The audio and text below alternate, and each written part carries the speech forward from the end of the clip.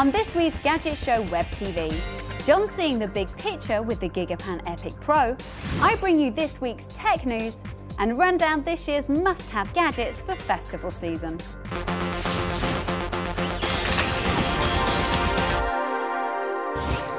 Hello and welcome to this week's Web TV. I'm Pollyanna Woodward. Now later in the show, I'll be revealing some of the gadgets you have to pack if you're off to any of the music festivals this year.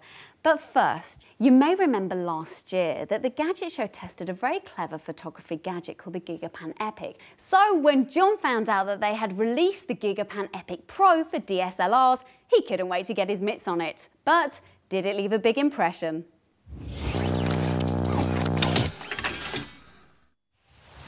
Now, this is the Gigapan Epic Pro, and the basic principle of it is the same as the other Gigapans. It allows you to take a shot of a lovely panorama like this skyline of Birmingham from the top of the custard factory, but instead of taking it as one shot, it takes it as a load of individual images by rotating the camera gradually round and then using its supplied software, it builds it up into a giant gigapixel sized image so you can see the whole wide panorama and at the same time zoom in to individual details. It comes with a lithium-ion rechargeable battery that uh, powers the motors that move the camera about to build up the panorama.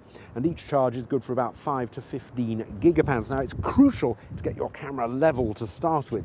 Helpfully, there's a spirit level on top to make sure you do. It works on a similar principle to the smaller gigapans. You tell it what sort of lens you've got on your camera by calibrating the field of view.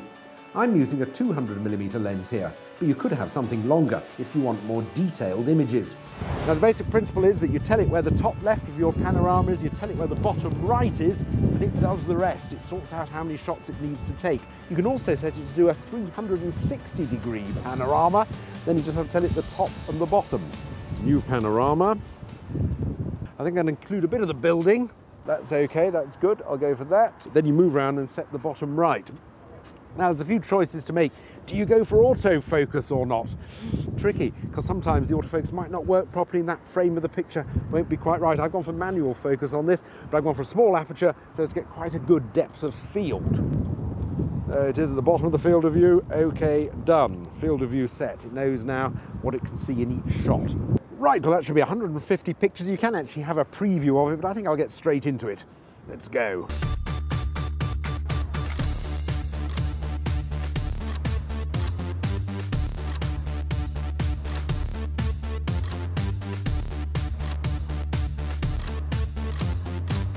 When the gigapanning has finished, you transfer all your stills to your computer, select the shots you want to build your gigapan out of, and set it to work.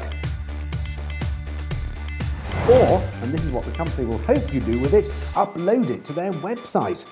They're quite evangelical, in fact, about what they believe gigapans can do for the world by encouraging us all to share detailed images of our surroundings with each other. They reckon we'll all get to understand each other a lot better. As for the Gigapan Pro itself, it has to be said relatively few images deserve the Gigapan treatment, ones you can appreciate as wide panoramas and at the same time have all the detail that's worth zooming into.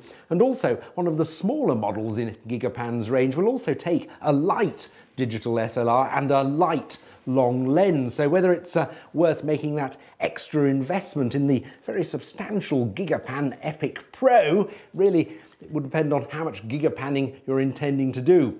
Whatever though, it is hugely enjoyable.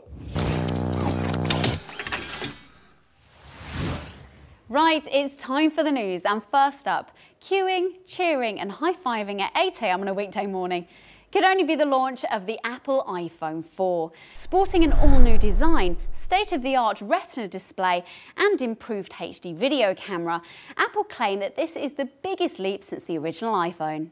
The technology, however, doesn't come cheap.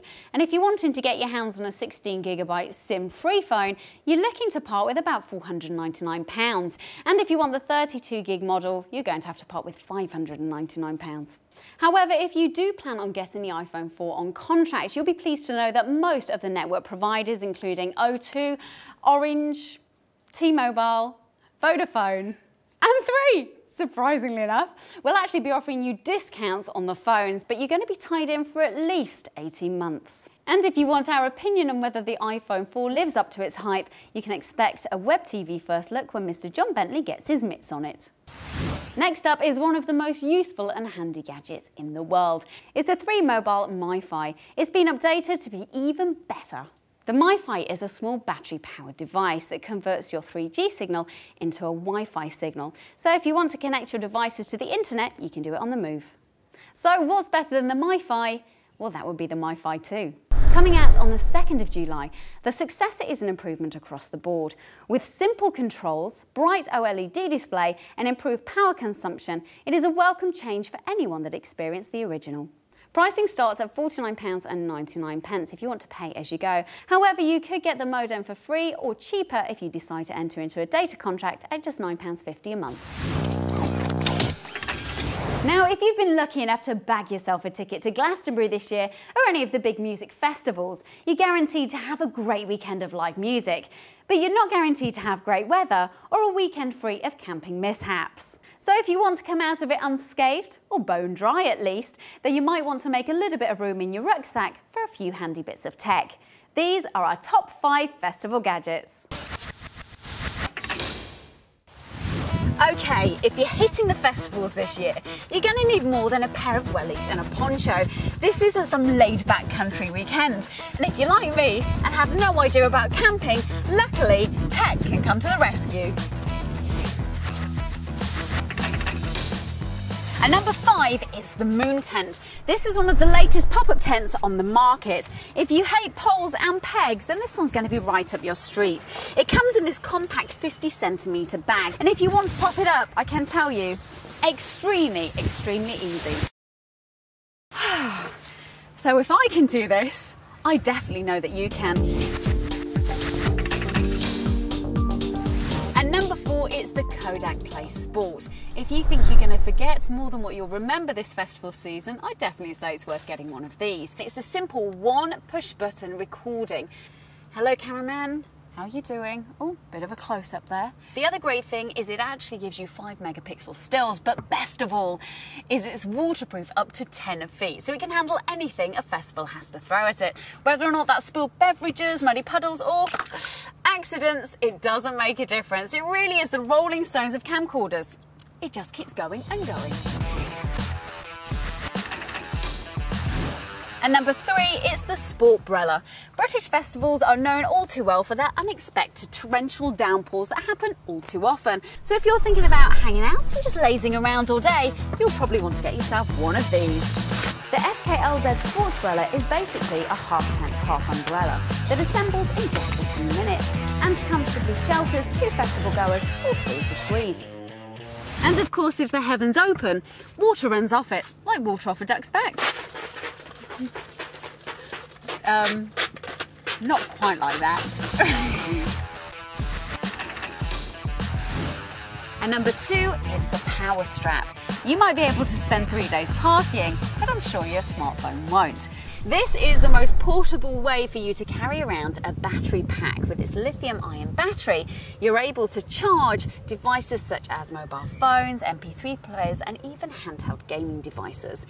Now, I've got an iPhone with me, so I'm going to pop that on charge just there. So the iPhone's charging, but if you've got the likes of maybe a Sony Ericsson or even a Nokia, there are many adapters in here that pretty much will suit most of the devices you're going to use. The power strap will give you about three hours talk time on a mobile and about eight hours on an MP3 player.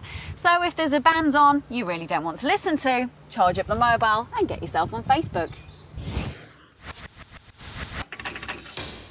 And number one, it's Tent Finder. So it's the end of the day and you have no idea where your tent is. It's anywhere in that melee of canvas.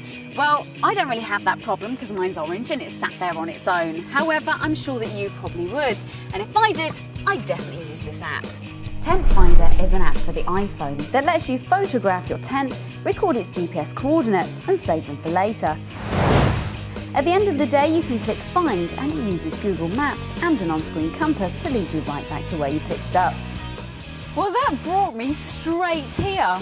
That works a treat. Love that. Well, that's all we have time for, but we will be back next week with more tech news and reviews.